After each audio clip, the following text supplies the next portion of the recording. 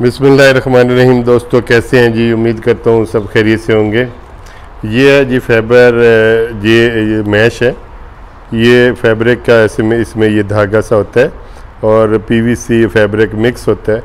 तो ये मैश है, ये हम लगाते हैं जहाँ पे हमारे पाइप ये पूरा एक मीटर का लंबा और 50 मीटर का आगे जो लंबाई में और इसका जो तू अरद है, यानी चौड़ाई इसकी, वो एक मीटर है। और लंबाई इसको जब खोलेंगे तो 50 मीटर बन जाती है। तो ये कहाँ पे हम यूज़ करते हैं तो आपको दिखाते हैं। पहले भी इस पर मैं वीडियो अपनी दिखा चुका हूँ। तो ये जो है कंपनी, ये वाली यूज़ करते हैं हम, देखें। ये फेबर ग्लास मैश है, आप देख सकते हैं। तो इसमें ये ये जो इसका साइज़ दिया हुआ है one metre by fifty metre. तो इसको अभी हमने ये, इसके साथ टैग लगा हुआ था जो कि निकाल दी है। तो यहाँ पे अभी आप देख रहे हैं, हमने लगाई थी कटिंग करके, क्योंकि ये प्लस्तर हमारा पहले हो चुका था। इसमें हमने बहुत टाइम इंतज़ार किया, लेकिन ओनर जब इसकी मार्किंग सॉकेट्स की नहीं दे रहे थे तो उसके बाद फिर हमने अपना काम इसको ख़त्म करना था। तो हमने कहा इसकी कटिंग कर लेंगे बाद में और इसका मेंटेनेंस हो जाएगा। और इस पर अभी ये आप देख रहे हैं कि पीवीसी मैश हमने लगाई है, आपको करीब से दिखाता हूँ। ये आपको थोड़ी थोड़ी नज़र आ रही होगी। पहले इसकी ये पाइपिंग वगैरह करके कंड्यूट्स की और इसके बाद इसको फिलिंग की है, इसके मसाला वगैरह कंक्रीट के साथ। फिर उसके बाद में इसके ऊपर ये फैब्रिक जो आप मैश दिखाई है, आपको ये लगाई है और उसके ऊपर खाली सीमेंट के ये मसाला जो बना के चट इसको बोलते हैं, वो लगाई है। और इधर अभी लगा रहे हैं, ये वाला बाकी है। ये देखें आप फिलिंग इसकी पहले की हुई थी और उसके बाद अभी इसको प्लस्तर भी थोड़ा थोड़ा ज़्यादा इस तरफ़ से कटिंग किया हुआ है, ताकि उसके ऊपर जो कटिंग की हुई दीवार से थोड़ा सा ज़्यादा ऊपर चढ़ जाए ये हमारी मैश तो यहाँ पे अभी ये ये देखें आप नीचे अभी मसाला लगाने वाला है और यहाँ पे लगा दी है। तो इससे क्या होता है ये मैश लगाने से क्या होता है फैब्रिक एक तो कभी ये गलती नहीं है तो ख़राब नहीं होती। तो इसमें क्या होता है कि इसकी वजह से जो हमने अभी बाद में कटिंग की है, या हम पहले कटिंग करते हैं तब ब्लॉक की तो क्रैक्स नहीं आते। यानी ताबूक को जब प्लस्तर होता है तो फिर बाद में वो जगह ताबूक जो कंपनी से बन के आते हैं तो वहाँ पे कटिंग हो जाती है। फिर हम उसको फिलिंग करके प्लस्तर करते हैं तो फिर कुछ पाइपिंग की वजह से क्रैक्स आने के ख़तरा होता है जिसकी वजह से वो आ, हम लोग इस पे ये मैश लगाते हैं।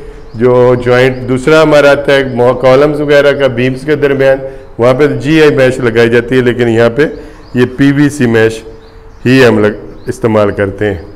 तो मैंने कहा आपसे ये शेयर करें। तो ये वीडियो आज की शॉर्ट सी वीडियो मैंने आपसे शेयर करनी थी कि हम लोग ये कटिंग वगैरह कैसे इसकी करके और फिर उसको रिपेयरिंग कैसे करते हैं? और दूसरा, मैं इसका एक्सप्लेन आपको कर दूँ। ये आपको पॉइंट नज़र आ रहे हैं। ये इंटरनेट का पॉइंट है और साथ में इसका टीवी का पॉइंट है।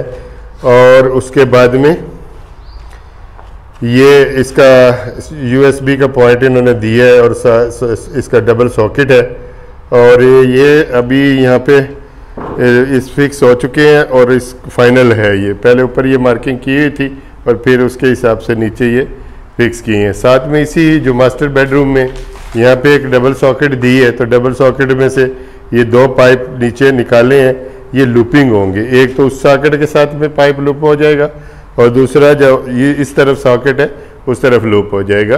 तो इसका रिंग सर्किट आ रहा है। लास्ट में दो पाइप इसके डीबी पे जाएँगे तो जब कंड्यूट्स डालेंगे तो इंशाल्लाह वो आपसे शेयर करेंगे। तो इसमें ये आप स्विच एक स्विच का रखा है यहाँ पे। कटिंग होगी तो एक लैंप वॉल लैंप लगाएँगे यहाँ पे, इस जगह में।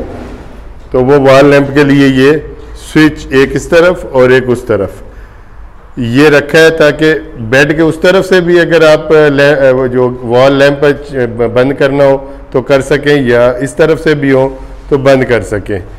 तो ये है कि अभी रात में डबल बेड पे दो आदमी सोए हुए हैं तो वो एक सोया हुआ, एक जाग रहा है तो उसने लैंप बंद करना है। तो दूसरे को ये नहीं उसको फलांग के नहीं, दोनों साइडों में ये फैसिलिटी होगी, इसलिए हमने ये लगा दी है। उसके बाद में, यानी टू वे स्विच लग जाएगा। फिर उसके बाद में ये डबल सॉकेट है और उस, ये इंटरनेट का और टीवी का, ये भी पॉइंट साथ में दे दिए गए हैं। तो यहाँ पे दूसरी तरफ़ बैठ के भी ये दोनों सहूलतें हैं। यही चीज़ें दी हैं। यहाँ पे भी ये लैंप 2.5 यानी दो मीटर पचास सेंटी पे ऊपर इसका वॉल लैंप आ जाएगा बेड के राइट एंड लेफ़्ट दोनों साइडों पे। फिर उसके बाद यहाँ पे भी उन्होंने ऑप्शन लिया, यही सेम चीज़ें यहाँ पे भी करके इसकी पाइपिंग करके ऊपर ये जो मैश है पीवीसी वो लगा दी गई है। और आगे हॉल की अभी हमारे पास लिविंग की मार्किंग नहीं आई तो ये मैंने छोड़ा हुआ है। तो दूसरा इस इस एरिया में भी ये जो बेडरूम बेड नंबर वन है, इसमें भी आप देखेंगे तो सेम यही पॉइंट आ रहे हैं। देख लें। जो मैंने उधर एक्सप्लेन किए इंटरनेट का है और उसके बाद में टीवी का है और इसका यूएसबी का साथ में ये डबल सॉकेट है और यहाँ पे भी बेड आ रहा है जी। ये जगह आप देखेंगे तो सेंटर में जो आपको ये प्लेन जगह नज़र आ रही है, यहाँ पे बेड आ रहा है और बेड के राइट साइड में लेफ़्ट साइड में, दोनों साइडों पे आप देखेंगे तो हमने वही पॉइंट दिए जो उस तरफ़ दिए इंटरनेट का है और स्विच का है और उसके बाद में उसका टीवी का दे दिया है। तो वो टीवी इधर लगाते हैं, ये नहीं लगाते क्योंकि टीवी का ऑलरेडी तो इधर अभी इन्होंने चेंज किया क्योंकि ये वाल मॉडिफिकेशन हो रही है। ओनर अभी चेंज करवा रहे हैं कि ड्राइंग उन्होंने चेंज कर ली है बल्दिया में। ये पूरी जो विंडो आप देख रहे हैं, ये विंडो आगे तक चली जाएगी। और ये जो नीचे वॉल 90 सेंटी बनाई थी, यहाँ से ये भी कट होके यहाँ तक ये कट कट जाएगी, यानी कि पूरी दीवार के ऊपर आपको देखेंगे। जब ये कंप्लीट होगी तो दिखाएँगे ये विंडो आ रही है। तो ये सॉकेट्स इस तरफ़ इसकी, इसलिए इनको चेंज करके पहले इधर लगाई थी अभी इस तरफ़ बॉक्सेस इसके लगा दिए हैं। तो इसके कंड्यूट्स मैंने कहा, चलो आपसे शेयर करते हैं, ये कंड्यूट्स वगैरह लग गए हैं, और इसके ऊपर अभी मैश फैब्रिक की जो है वो लगाई, लगानी शुरू की हुई है, ताकि इसका प्लस्तर का प्रोसेस जो रह गया था, वो कंप्लीट हो जाए। तो ये थी आज तक की हमारी वीडियो इसकी सॉकेट से रिलेटेड और इसकी फैब्रिक्स की मैश के से। तो मैंने कहा आपसे ज़रूर शेयर करेंगे कि इसका क्यों लगाए जाते हैं, कुछ पॉइंट भी शेयर आपसे कर लिए कि इसमें हमारे रूम के अंदर कौन कौन से पॉइंट्स आ सकते हैं।